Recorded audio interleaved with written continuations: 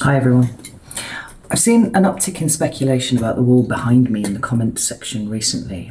Almost all the comments have expressed concern for my welfare, and many of them have involved suggestions for things that I might do to fix the situation.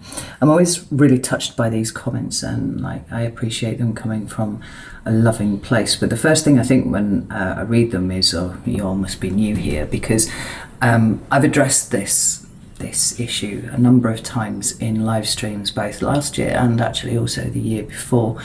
Um, today, though, I noticed a comment that made me think that I need to address this more directly.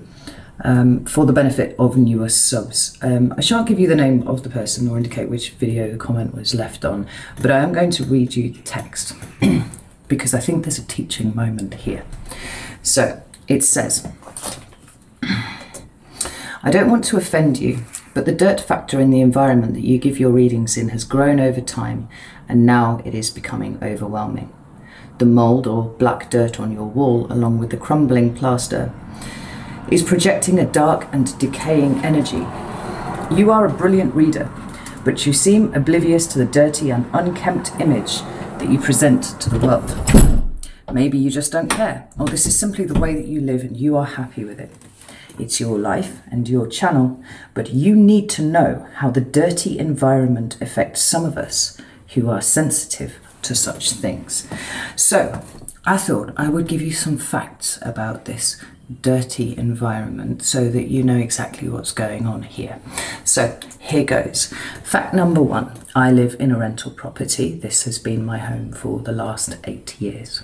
Fact number two what you can see behind me there is the result of multiple points of water ingress that the landlord has declined to repair, leading to a degradation of the interior of the room that's gone on over two years, I think.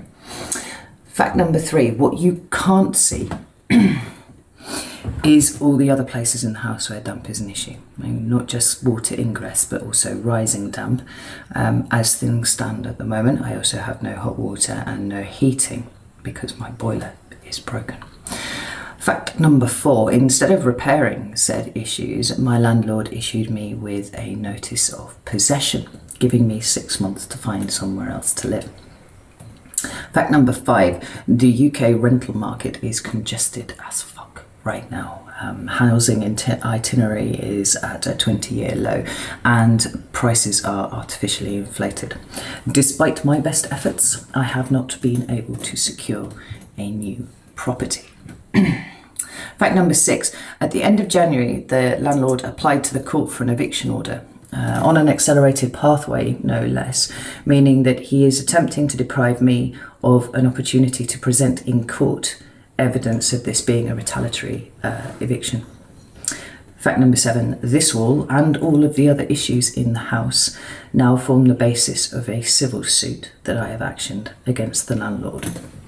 Final fact I am shuttling all of my belongings from this house into self storage containers six miles away from here.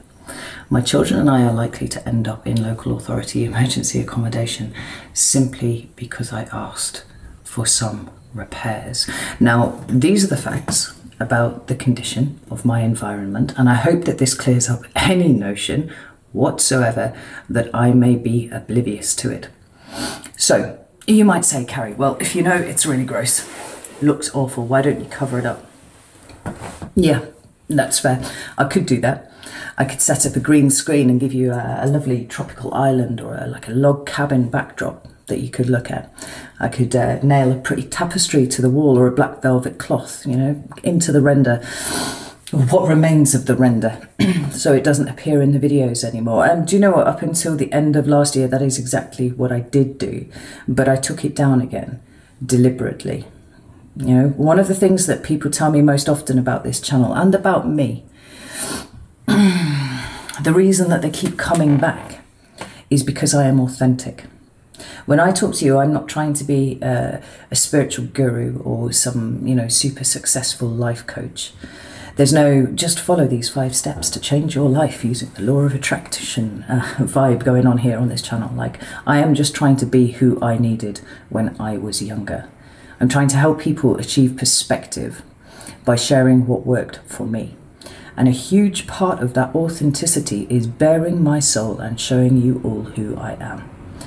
Who I've become over decades of making mistakes and learning from them. I'm just a woman who has been at the bottom of a lot of very deep, dark holes and knows something of the way out again, just like I say, the description box in my videos, you know? I let you see it all the good, the bad, and the ugly. And I took the black cloth down because it was hiding something from you. I took it down because it made me feel like I was trying to present a, a, a false picture of my life. And it didn't sit well with me. It was this false reality. Pin this for a second because we're going to come back to it. But let me tell you, some of you newer subscribers, some facts that you may not know about me. So, I am an autistic mother of five autistic children, four of whom still live at home with me. The eldest is just about to finish university, and I home educate the youngest three of them who all have pretty complex needs. Um, in 2017, I was assaulted whilst out celebrating my 37th birthday and I sustained a brain injury. This eventually led to uh, a diagnosis of post concussion disorder, and the most notable effects of that are on my working mem- memory and my verbal fluency, and I still very much struggle with that to this day. Uh, fun fact I am largely deaf. If I can't see your lips move, chances are I can't hear you at all. Uh, my daughter died in 2003 and my, uh, my husband in 2005. Uh, I had an abusive childhood. I had uh, two major relationships in my life that were also abusive. I have in the past struggled with an eating disorder and self harm. Now, I'm not telling you any of these things because I want you to feel sorry for me. I absolutely do not.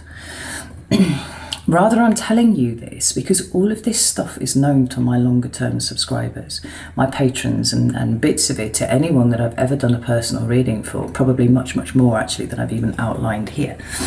The authenticity that I am known for is a byproduct of not hiding those things about myself that, were I more concerned about how it looked to other people, I absolutely would. I choose not to live in shame or fear about anything, and I choose to be vulnerable. The reason that I'm on YouTube at all is to try and help people benefit from my experience, to consider trying to look at things a different way, to get some perspective, you know? My whole raison d'etre now, it seems, is helping people lose the shame and the fear that causes them to live in the same survival mode that I existed in for the longest time. And it's a miserable existence. And it doesn't have to be that way. You can grow to be so much bigger than anything that challenges you. There's so much chaotic instability in my life at the moment. Well, I guess actually for the for the past year, that is so beautifully symbolized by that hideous wall behind me. If you think I'm not sensitive to that, you are out of your fucking mind. But the wall doesn't define me. The things I had told you about myself earlier do not define me. The turmoil in my life right now doesn't define me.